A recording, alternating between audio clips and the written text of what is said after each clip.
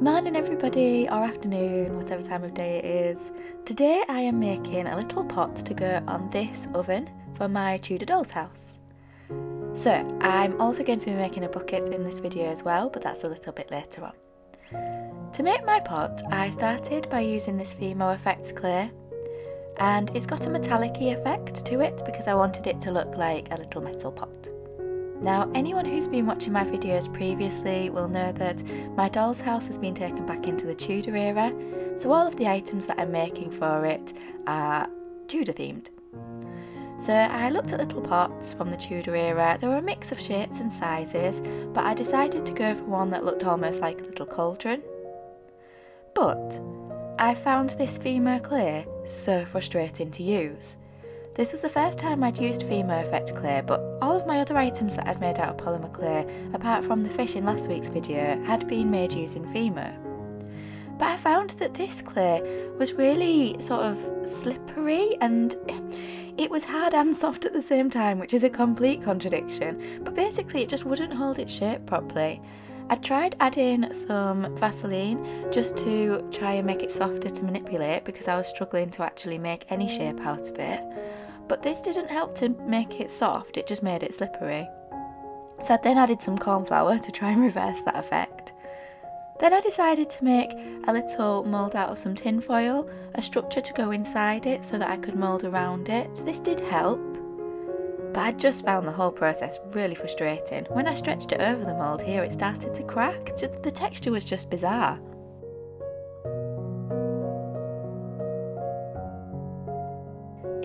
Else has ever used this Fimo effect clay, I'd love to hear what your experience of it was. I actually filmed this video ages ago, well before Christmas. In fact, you can see the pumpkins that I was making in the background, so it'll have been probably around October time. So I got really frustrated with it and left it. And this clip here is probably about a month or so on. So this whole project I've been working on for months, basically. So I decided to start afresh because that little cauldron pot just, oh, I, I didn't like the shape, I didn't like the texture, it just wasn't going right.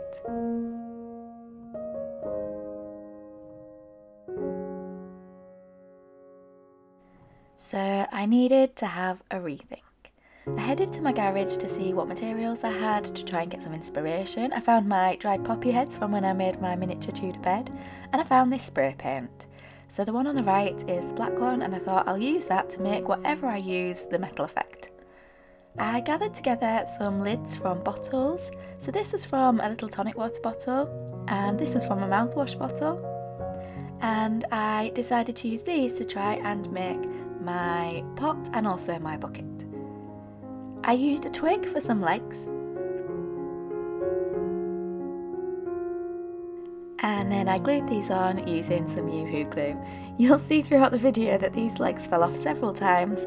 Um, they were very delicate and I tried not to use too much glue because obviously I didn't want to see loads of glue on the outside of my pot.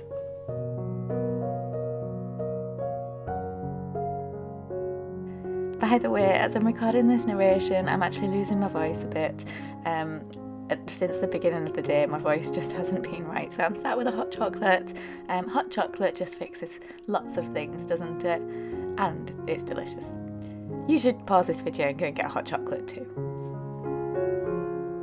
Please remember to come back though if you go and get a hot chocolate. Don't forget, come and watch to the end. So this is the pot with the three little legs on. I liked the shape of it. And then here I'm just cutting out a milk bottle top just to take a little bit of plastic to make some tiny little handles. I stuck them on with the glue as well. Obviously this was a little bit um, delicate and intricate to do because they were tiny so I used some tweezers just to help position them in place. At this point I hadn't actually measured the size of this pot, which was really silly wasn't it, because it had to fit on the oven at the back in the little sort of indents that I'd made in the oven. Oh, my cat's just arrived, hello! Oh, she's just, I don't know if you've just heard her little paddy paws going straight across my keyboard and up onto the windowsill on the other side so that she can sit in the sunshine. Anyway, this bucket, so I'd started to make this bucket and I think I'd just completely forgotten that I was making something from the Tudor era because obviously you're not going to have a metal bucket that looks like a modern bucket in the Tudor era. Anyway, I'll go over that soon. My plan is to put the bucket under a dry sink at the side here. Now, these are two surfers, miniature surfers, that came with the second doll's house that I bought second hand. My plan is to turn one upside down like this and to create a stonework effect over the top of it, which I will do in a future video. But can I have some advice, please? I'd be really grateful if you could leave in the comments whether you think it should be the small one or the larger one. I'm edging towards the smaller one at the moment.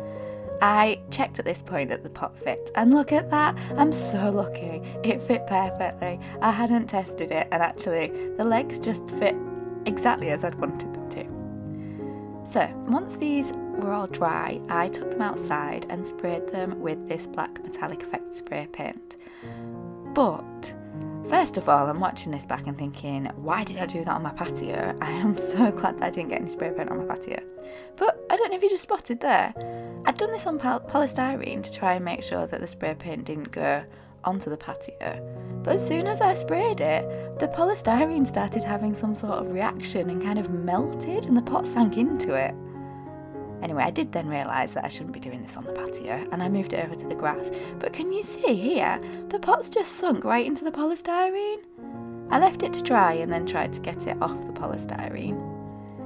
I read the instructions and the warning on the labels of the spray paint didn't mention anything about not being able to spray polystyrene. Um, I was using polystyrene simply because it was in my it was well I don't think you can recycle polystyrene but it was due to be um, thrown away and I didn't have any cardboard. So anyway, I dug it out. The little leg had got stuck inside the polystyrene when it had sunk down, so that was the leg falling off for the first time in this project. Um, and then I left it to dry again. Then I teased it out of the polystyrene and I tried to get the leg out too. the handle had come away as well. Um, if you're doing a similar project, obviously I would recommend using something else like cardboard to spray over. Although I don't know if I've misread the instructions on the spray paint. If you get your own spray, spray paint, read the instructions and the warnings properly first. So I glued these bits back on. You can see that there are some areas where the spray paint hasn't fixed and that is because that's where it got stuck against the polystyrene. Although I'm alright with that effect actually because it's meant to be aged, it's meant to be from the Tudor era.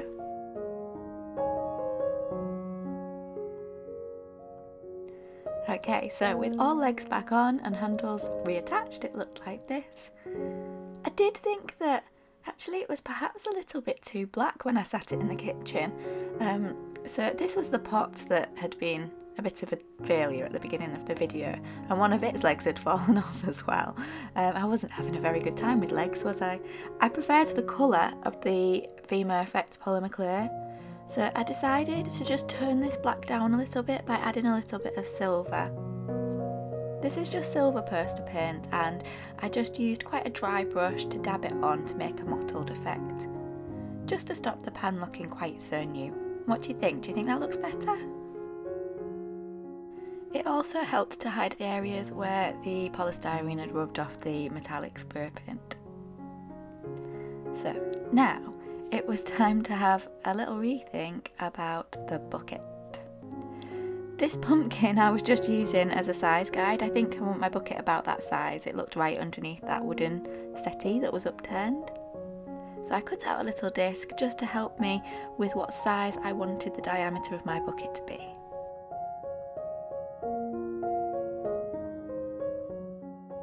My cat's just moved from the windowsill to my knee, so let the pairing commence. So I cut out some little strips as well from this watercolour paper. Um, the paper's quite thick, so it's like hard, and this is what I was going to use for the leather straps that would go around the strips of wood of the bucket. I then got my palette and some paint. I didn't go for brown straight away because um, I wanted the leather to look aged, so I decided to go for these two colours mixed together. However, the poster paint that I thought was more of a black colour actually turned out to be a navy blue. So I then decided to add some more colour to my palette to change the colour. So I had a little look on the internet to see what Tudor buckets would have looked like and what materials they were made out of. And then I decided to add some yellow ochre acrylic paint to my palette just to change the colour slightly.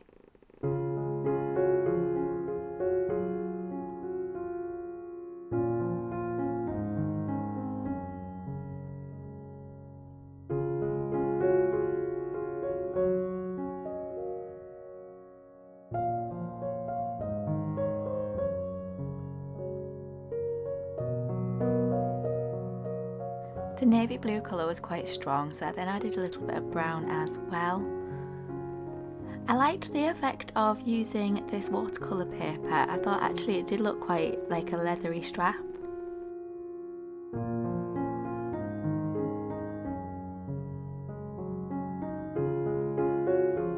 Next it was time to cut out the wooden strips.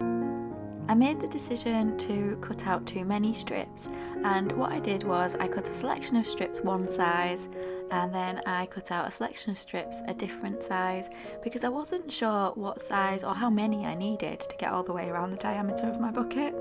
I could have worked this out probably by using a piece of string and putting it around the diameter of the piece of card I'd done um, and seeing how long this measured but I thought I'd do it this way because then I'd have some spare strips anyway. So as you can see, I've got three lots all as different sizes. This next step, you, you may think, what on earth are you doing? Basically, I didn't want my wooden strips to be the colour that they were, and for past projects I've always painted with the um, raw umber acrylic paints, but I thought actually I'm going to try a different method today.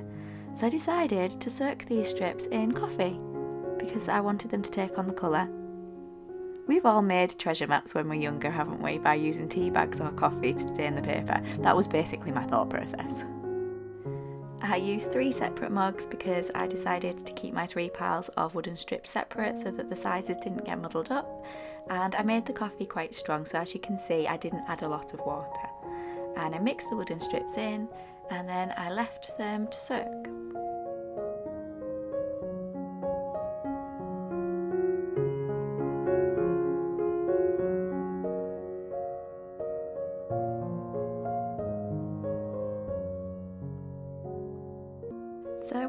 Were soaking, I went back to check on my little pot which was drying and I thought that the metallic silver paint had done a good job. Oh, oh, and this is where the leg fell off again because I dropped it. Yes, there we go. So I glued my leg back on. So whilst they were soaking, I had a little tidy up because obviously when they were soaked and then dry, it would be time to start putting the bucket together.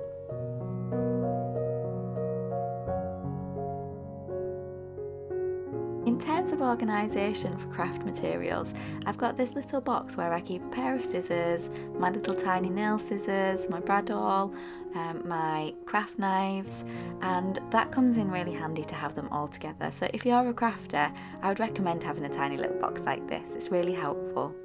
I also have a few nail files in it, um, they come in useful for a lot of things.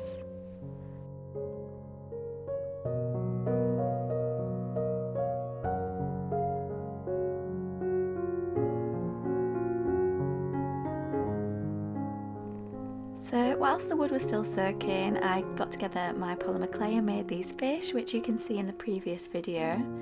So my plan is that these fish will go onto the table in the kitchen of my doll's house and also into the little bucket and the pot that will sit on the oven.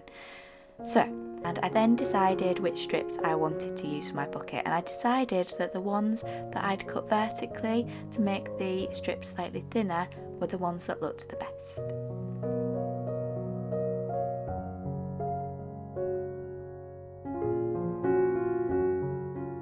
So you can see there that there's two strips that are slightly taller and they're the strips that I'm going to put the rope through.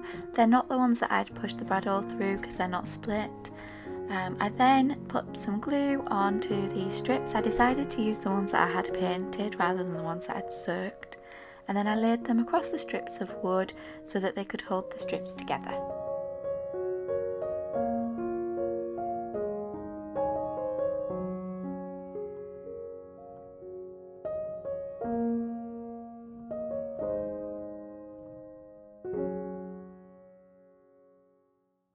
Of course, I didn't let them dry properly before I started to try and make the shape of the bucket because I'm very impatient. But anyway, when they were ready, I curved them around to try and make the curve of the bucket. It was quite fiddly and intricate.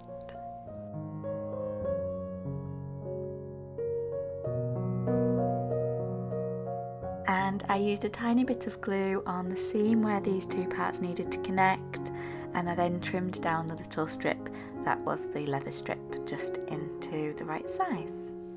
as you can see, it was still a little bit wet. Oh, oh, bless you, little cat. I don't know if you just heard that on the micro. Oh, sneezy. There we go. Sorry, my cat just woke herself up with a sneeze. She's so cute. You're so cute. So here I decided that the bucket wasn't quite strong enough, so I put some glue on the inside where you wouldn't see the glue, just to try and hold it together a bit better. this footage is really bad just because I popped my phone on whilst I was sat on the evening. Um, it had dried and I decided to just file it down a little bit because it was very rough around the edges. I wanted it to stay quite rough because obviously it's meant to be a very old bucket, um, but I didn't want it this rough, it wasn't standing quite straight. So I just used the nail file to sand it down. And I also decided that these bits were a little bit too tall, so I trimmed them down as well before adding the little piece of rope.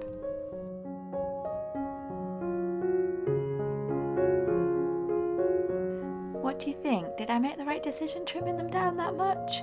I'm not sure. Of course, I still had the issue with the fact that putting the hole in to attach the rope meant that it was probably going to split.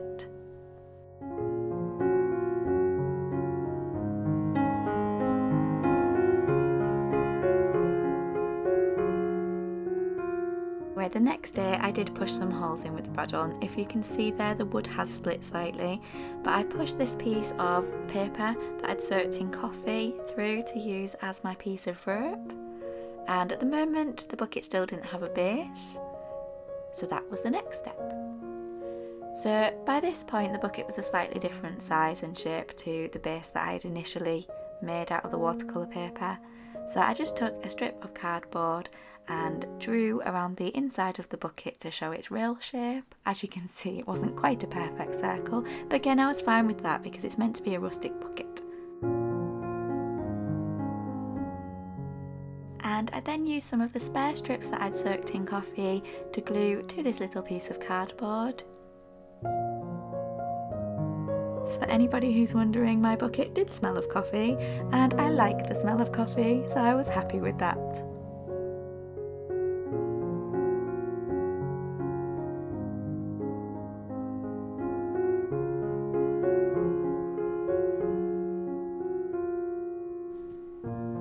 So when the strips were dry, I flipped it over and then I just used the same method that I'd used before to split the wood to cut around. Obviously it did still mean it was going to be a little bit rough and not perfect around these edges, but this was going to slot inside the bucket so you wouldn't be able to quite see the edges.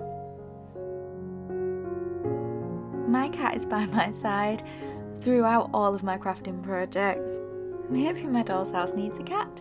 Did they have cats in the Tudor times as pets? I don't know. I think they had dogs. They had dogs for safety because obviously, um, in terms of law and policing, they had to protect their own properties. I learnt that when I went to Little Moreton Hall.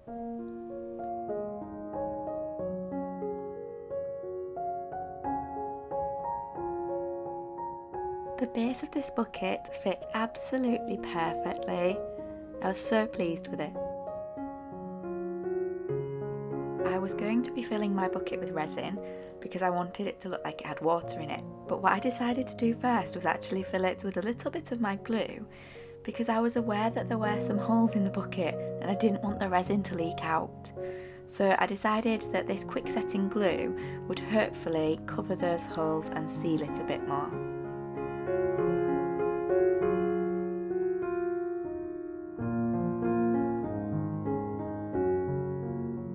So I've never worked with resin before, but my plan was to add some resin and then sit my little fish into the bucket and then add a bit more resin so that it looked like the, bu the bucket was carrying the fish that had been collected from the pond. And I also planned on adding some vegetables to my little pot, so there's some carrots as well as the chunks of fish.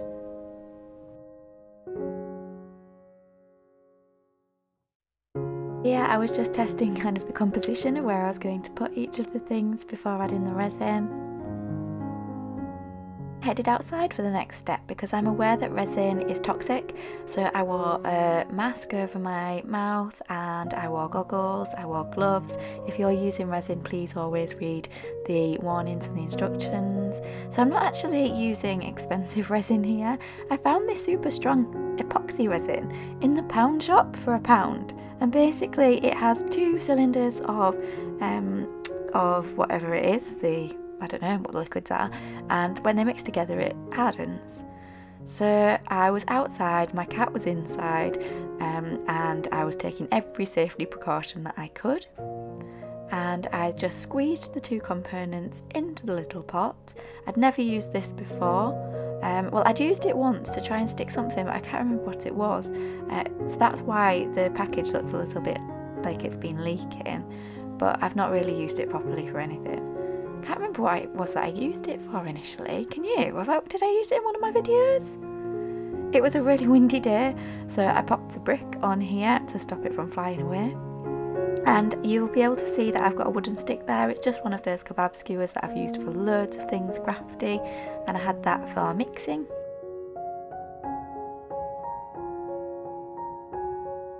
As you'll appreciate, this bit was pretty difficult to film and I was absolutely concentrating on staying safe and getting the resin in exactly the place that I wanted it. So I'm sorry that bits are out of focus.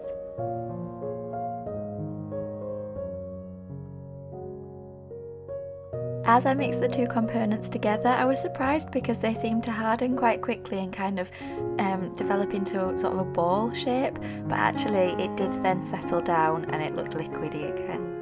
So I put a base layer in and then positioned my fish and my carrots into the little pot. Although I realised that I'd put my carrot upside down and I didn't like it like that, so I did flip it over. Um, and then in a few seconds, I do exactly the same thing again with another bit that I was adding to the pot and I put it in upside down. I wasn't sure how long this would take to set, um, but I didn't want to rush and do the same thing that I'd done with my frame where I did it too fast so I took my time and thought what will be, will be.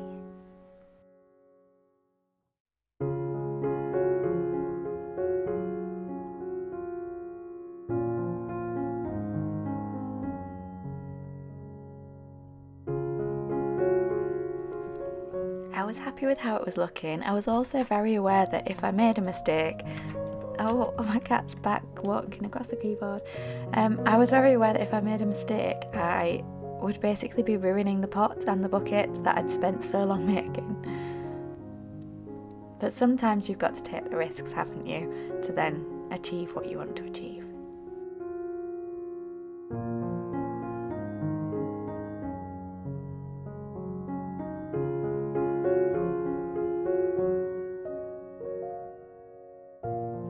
Was a bit tricky where I tried to add some more resin on top of some of the items that I'd just pushed in. I think if I was to do this again, I would fill the little pot more full of resin in the first place before adding the components into it. Because what I was struggling to do was to mix the resin that I'd just added without moving all the items that I'd added in. And as you can see there, it looks like it's quite thick and viscous. Um, thankfully, as I mixed it, it did then settle just like before and it developed a flat layer rather than sitting on top as a blob.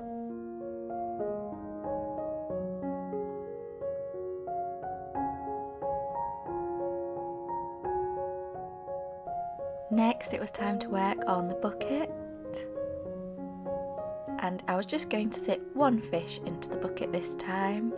Um, I did initially think about just popping the resin straight into the bucket like this, but actually the opening to the bucket was too narrow for this.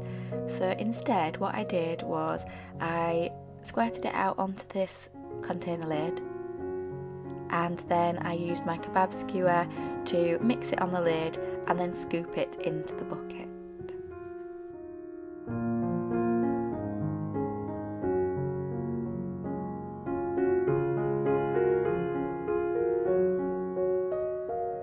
Unfortunately at that point my camera battery went flat so I missed the actual putting the resin into the bucket um, but this is what it looked like.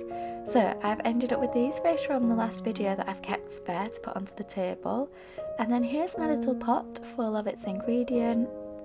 As you can see that resin really settled down And here's my little bucket with its fish inside. It's quite hard to video because they're so small. If you look at the size of my thumb, they're about the size of my my thumb, just a little bit taller. So they're pretty hard to film so that you can see the intricacies of them. Um, but I placed them into my doll's house with a little pot on the back and I'm really glad I turned it down so it wasn't quite so matte black.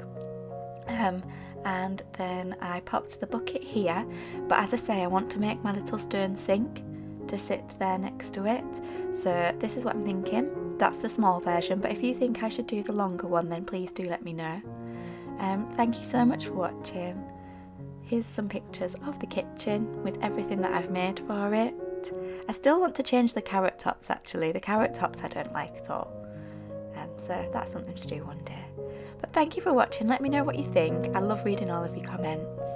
If you're new to my channel, please remember to hit subscribe and I will try and post a video every Wednesday. And have a lovely day.